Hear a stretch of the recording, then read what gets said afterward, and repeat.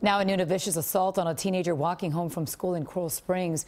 Police released a video late yesterday afternoon. It shows a student being attacked by several people as a victim walked home from Coral Springs High School. The attackers kicked, punched, and choked him before robbing him.